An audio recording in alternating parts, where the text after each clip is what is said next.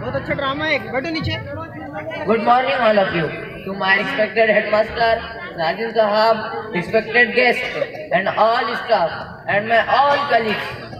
I would like to say thank you to give me such a great opportunity to speak something on our Republic Day. My name is Sheikh Ziaul Hassan.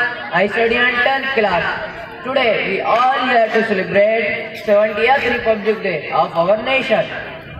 This is a great and auspicious occasion for all of us.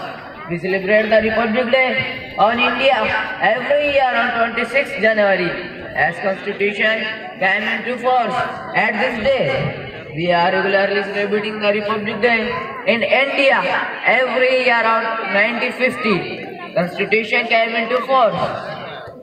India is a democratic country where public is authorized to elect its leaders to lead the country. Dr. Rajendra Prasad was our first president of India. Since we got independence from the British rule in 1947, our country has developed a lot and counted among the powerful countries. Together with some development, some drawbacks have also arisen, such inequality, corruption, illiteracy, etc.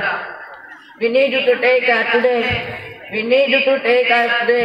आज हम सब अहद करते हैं कि we need you to take a pledge to make out for solving the problem in the society.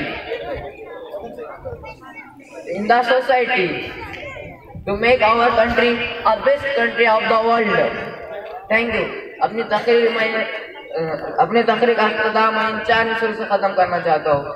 जो मोहब्बतों की बात करते हैं जो मोहब्बतों की बात करते हैं उसको हम अपनी जान कहते हैं। जो मुख्तलिफ़ खुशबुओं का संगम है जो मुख्तलिफ़ खुशबुओं का संगम है जिसको हम हिंदुस्तान कहते हैं।